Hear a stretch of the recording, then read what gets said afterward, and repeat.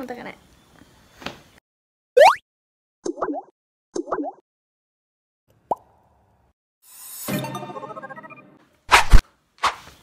Hello කොහොමද? ඔයාලා දෙකතු වෙන්නේ. ඩ්‍රෝවිචර හැලෝ කොහොමද ඔයාලා දෙකට වෙන්නේ?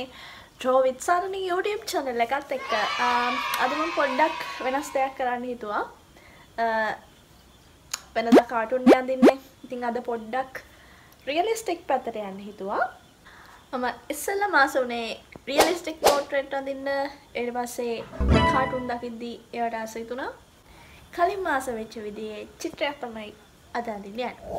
අපි ඉක්මනට යන් වීඩියෝ එකට.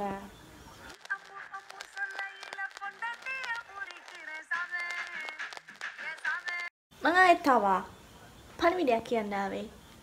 සබ්ස්ක්‍රයිබ් කරන්න.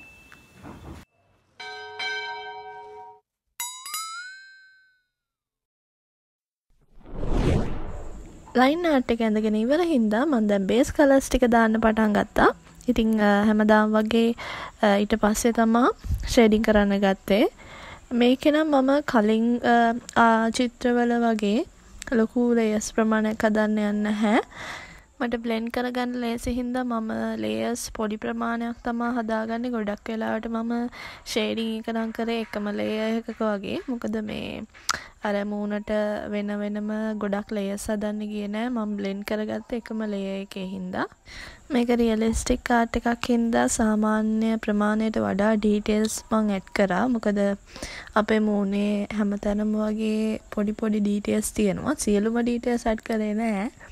අර සාමාන්‍යයෙන් පේන්න ඕන ඩීටෙල්ස් ටික විතරක් ඇඩ් කරා. ඔයාට පොඩීම ඩීටෙල්ස් ඇඩ් කරන්න නම් හොඳටම කොලිටිය එක තියෙන රිෆරන්ස් ෆොටෝ එකක් ඕනේ. කියන්නේ නෝමල් ලෝ කොලිටි තියෙන ෆොටෝ එකින් වගේ නම් ලොකුවටම ඩීටෙල්ස් පෙන්නේ නැහැ අපිට.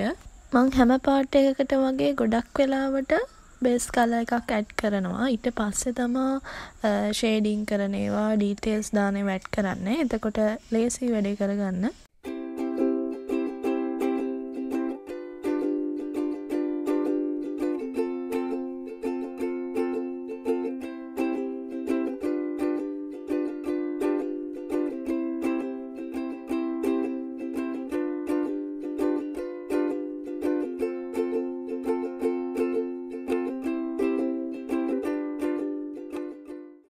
මෙයාගේ තොලට මට අර දිලිසන ගතිය පෙන්වන්න ඕන වුණා. ඒ කියන්නේ අපි මොකක් හරි ලිප්ස්ටික් එකක් හරි එහෙම නැත්නම් ෂයින් වෙන දෙයක් හරි ගාලා තියෙනවා නම් ඒක දිලිසනවා වගේ පෙන්වන්න ඕනනේ.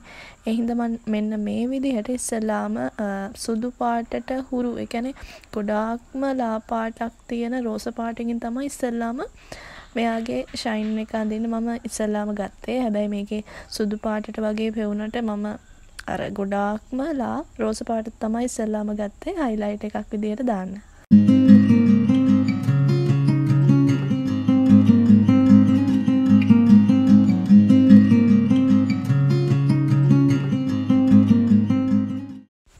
කොන්්ඩේ අපි අඳිනකොට අපිට පුළුවන් මේ ප්‍රොක්්‍රියට් කියන අප් එකේ නම් බ්‍රෂස් වර්ග කිහිපයක්ම තියෙනවා. ඉතින් මේකේ බ්‍රෂ් පැලට් එකේ තියෙනවා මැටීරියල්ස් කියන කොටසේ ෆයින් හෙයා ඔය වගේ එක එක බ්‍රෂ් වර්ග. ඉතින් මම ඒ ඒ බ්‍රෂ් වර්ග අදාළ විදිහට භාවිතා කරනවා. මොකද අපිට එක එක තැන්වලට වැඩේ කරගන්න ඕන වෙන්නේ එක එක බ්‍රෂ් වර්ග හින්දා. මම දැනට මේකේ තියෙන ඩිෆෝල්ට් බ්‍රශ්ම තමයි මේක අඳින්න භාවිතා කරේ මොකද වෙන කෙනෙක්ට ඕන්නම් වෙන බ්‍රශ් වර්ග ගන්න අපිට පුළුවන් ඒවා වෙන තැනකින් පර්චේස් කරගෙන හරි එහෙම නැත්නම් ෆ්‍රී දෙන ඒවත් තියෙනවා. ඉතින් ඒවා අරගෙන අපේ පොක්ට්‍රියට් එකට ඉම්පෝර්ට් කරගන්න පුළුවන්. එවගේම අපි කොණ්ඩේ අදිද්දි නම් ඇත්තටම අපේ කොණ්ඩ ගහක් කියන ගොඩක් මහත දෙයක් නෙමෙයි. ඉතින් අපි කොණ්ඩේ අදිද්දි ගොඩාක් මහතට ඒ ලයින් ගන්නෙ නැහැ. ඉතින් ඔයාලා ඒක බ්‍රෂ් එක සයිස් එක පොඩ්ඩක් අඩු කරගෙන ඔපෑසිටි එක පොඩ්ඩක් අඩු කරගෙන ඒ වගේ තැන්වලදී අඳින්න ගන්න.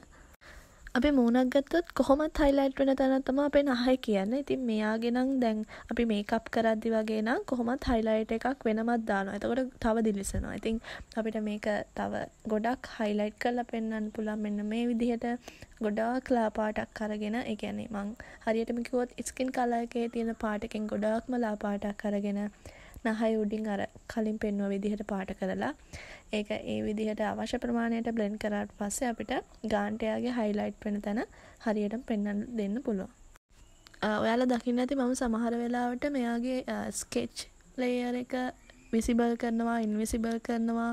මොකද මට සමහර වෙලාවට ඕන වෙනවා මෙයාගේ ස්කෙච් ලේ එක. මොකද ලයින්ස් හරියටම එනවද බලන්න මම පාට කරනකොට.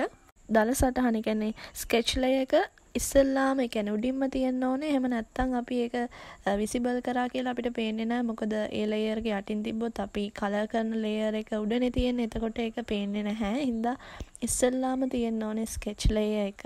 කලර් කරන ලේයර් එකට උඩින් තමයි අපි ස්කෙච් ලේයර් එක තියාගන්නේ. එතකොට තමයි අපිට එයාගේ ස්කෙච් ලේයර් එක ගැන දල සටහන විසිබල් කරලා ඉන්විසිබල් කරලා ඔයාලට ඕන වෙලාවට බලා ගන්න පුළුවන්.